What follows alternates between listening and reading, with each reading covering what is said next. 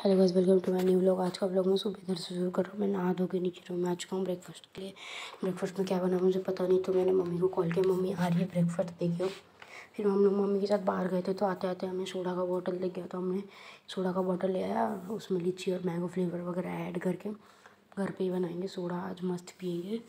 और बाहर ऐसे भी बहुत गर्म है। तो मैंने पहले ग्लास में बर्फ़ लिया, लीची और मैंगो फ्लेवर डाला। फिर अचानक से सोडा का बॉटल खोला कि जो कि सेक करा हुआ था तो इसलिए सोडा बाहर आ गया था। फिर धीरे धीरे उसे बंद करके फिर धीरे धीरे खोला। फिर ठीक रहा, फिर सोडा को उसमें पोर करा स्टीर करा और पिया। गैस बहुत मज़ा आ गया, पर चिल्ड था। फिर उसके बाद लंच का टाइम था तो लंच में हमने फ्रूट्स में कीवी और एप्पल खाए, फिर छुनी की सब्ज़ी और दही चावल खाए। फिर उसके बाद मेरा भाई भी स्कूल से आ गया था।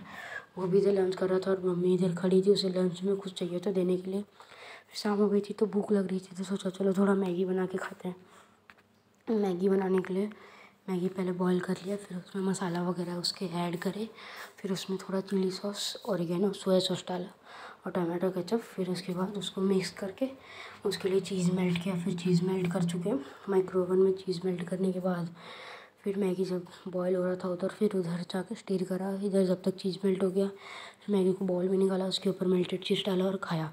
फिर डिनर के लिए हम आज अचारी आलू मसाला बना रहे थे, जिसके लिए पहले तेल में जीरा, प्याज और लहसुन वगैरह डाल के अच्छे से फ्राई कर लिया। फिर उसमें हमारा होम मेड अचारी आलू मसाला डाला और उसके बाद आलू और टमाटर की प्यूरी डाल के थोड़ा पानी ऐड करके ऐसा कुछ सब्ज़ी बना और फिर उसके ऊपर धनिया की बारिश करी। फिर उसे मस्त मज़े से खाया। फिर मम्मी रोटी आटा गूंथ रही थी रोटी के लिए, फिर सब डिनर वगैरह करने के बाद सब एक साथ बैठे गरम गरम आटा का लड्डू खा रहे थे। फिर इधर मम्मी पापा लोग सब कोई सो चुके हैं। इसलिए मैं धीरे धीरे बात कर रहा हूँ। आपको आज का लोग अच्छा लगा हो तो चैनल को लाइक और सब्सक्राइब ज़रूर करिएगा।